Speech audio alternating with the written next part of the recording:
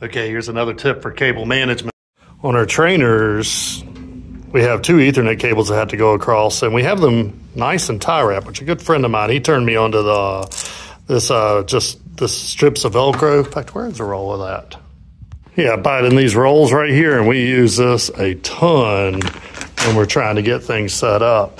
But yeah, I never would do this in industry, but especially after talking to my buddy Josh Vargas, he said it was fine.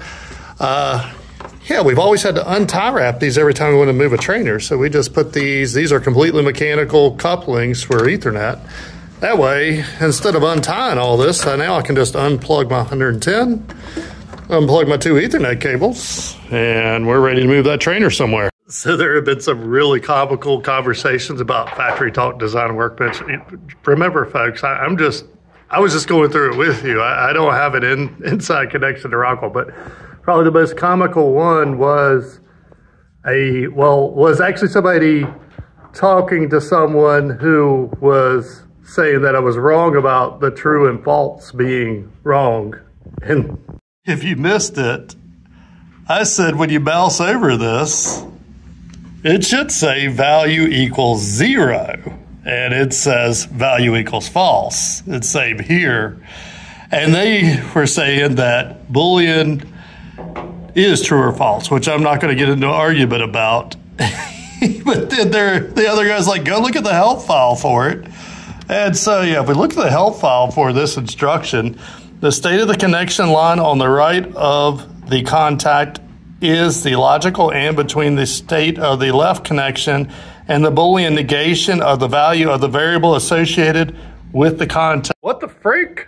The more I think about it, I'm putting them on everything. So you know, I do videos over there, but we have two video trainers. Here's a Micro 850 video trainer, and over there right now is the compact guard. So they swap places.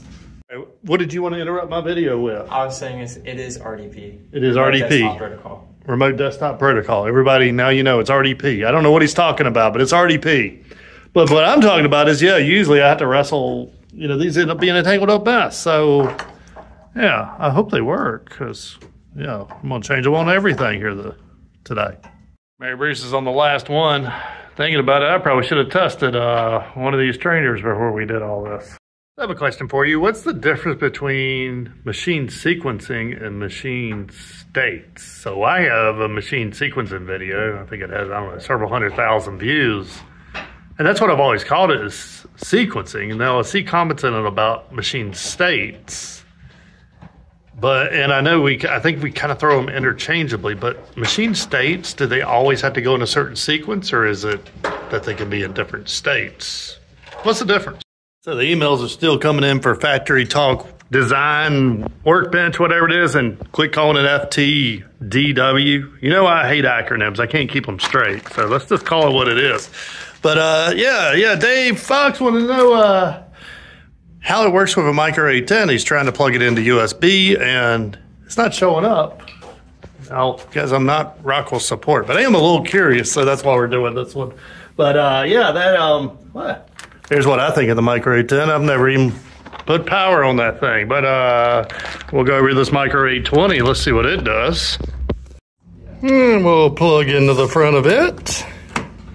And then in my case, we're running a virtual box, so we have to do the secret little magic plug-in up here. So devices, USB, Rockwell Automation. And you would hope it would just show up right there. But it does not look like it is. Let's hit the little refreshy thingy. Oh, that, oh, you gotta watch that. At least I put a slash through it now. Um, Factory Talk Linx, it's really hard to see whether it's pressed or not. Uh, advanced settings. Yeah. I do love how pared down this is, but I'm gonna say, even though they say it's compatible with the Micro 810, uh, ooh, now that excites me. It can, um, they can do RS-232 and Factory Talk Linx Lite this is a one piece I'm hoping they'll add to Factory Talk Linx for studio and everything. So Dave, I'm going to say, yeah, you can program it. You can program a Micro 810. You just can't download the program to the Micro 810. It's a small, small difference. Kind of comical. Uh, we hosted some training here, and there were all types of swags, all type of advertisements for products, and who wasn't actually advertising theirs, but uh, yeah, us. So we now have a printed brochure about our PLC training. Look at this guy go. We're testing out the new setup. He looks semi comfy. I'd ra- raise that table up. Get comfortable. Look at that, folks. We even got you an adjustable table now. Oh, we got to plug. We need power. Oh, wow. Look, look, look, look at this guy go. He's he, he's going to figure this out.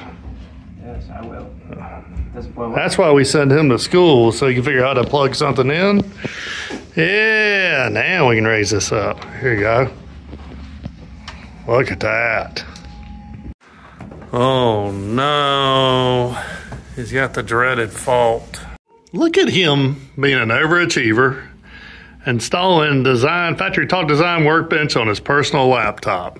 I'm installing it before you got to pay for it. Oh, well, you may be right there. And that is Michael's background. I don't even know what to make of that. Hoping that's not um in front of the shop. That's all I'm thinking right now.